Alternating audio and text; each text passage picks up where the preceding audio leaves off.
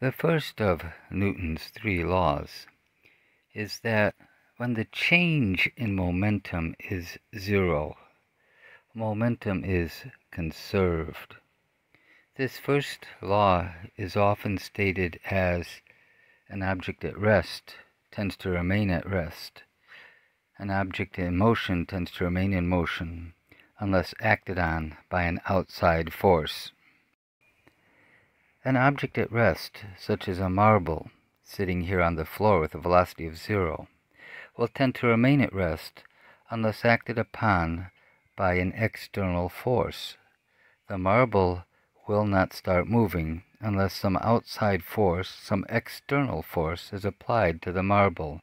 Momentum is conserved. The momentum is zero, and the momentum remains zero. For a moving object, the object will tend to remain in motion. The momentum will be conserved unless there are external forces acting. A ship such as this Kiowa ship coming into dock has a significant momentum. Even though the velocity is very low, the mass is quite large. Getting this ship to stop will require a large external force. If no force is applied, that force usually being applied by the propellers, if no force is applied, the ship will keep on traveling in the same direction, potentially in the water for many miles. Uh, it'll just simply coast in the water very slowly, but it will continue to move forward. Objects in motion do tend to remain in motion. This is a little confusing because our experience is that objects in motion tend to come to a stop. But that's because of an external force called friction. We experience a lot of friction in our daily lives. In fact, the whole reason we can walk is because of friction between our feet and the floor. If you've ever been on a wet floor or wet tile floor in Zoris, you'll realize how important friction is. You tend to slip and fall because you've lost friction, an external force. So, things in motion do tend to remain in motion. Uh, and that is the second part of Newton's first law unless acted on, as I said, by an external or outside force. Here I'm using external and outside interchangeably. This is Newton's first law, then. An object in motion will tend to remain in motion. An object at rest will tend to remain at rest, unless acted on by an external force. In this situation, momentum is conserved and the change in the momentum is zero. P is a letter for momentum, so the change in the momentum, the delta P, is equal to zero. That change. If the change in momentum is not zero, then a force is acting, and we'll come to that in just a moment.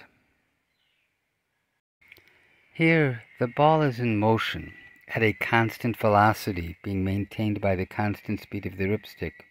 For the cameraman, the ball is conserving momentum. The momentum is not changing for that ball. It is constant, it is non-zero, and it is not changing. The momentum of the ball is conserved.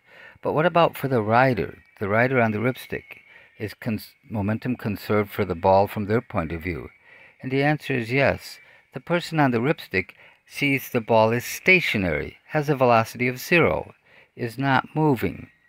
The person on the ripstick says the momentum is zero and stays zero.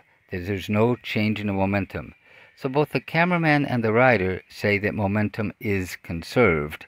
They just don't agree on what that constant value of momentum is.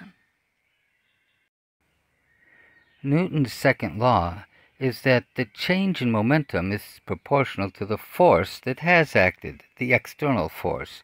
In this case, the momentum of the rider and the ball comes to a stop when the uh, rider hits the wall. More accurately, the ripstick comes to a stop.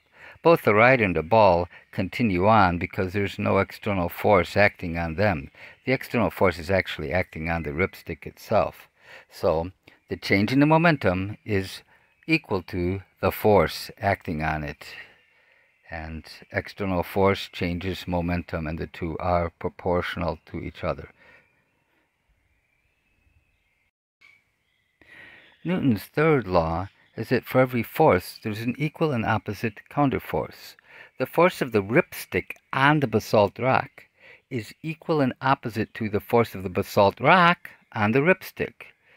They both hit each other. So Newton's third law is that for every force, there's an equal and opposite counterforce. The force of the bucket on the ground is equal and opposite to the force being exerted back on the bucket by the ground as that bucket is dragged along the ground. There are these force pairs always at work. That's Newton's third law.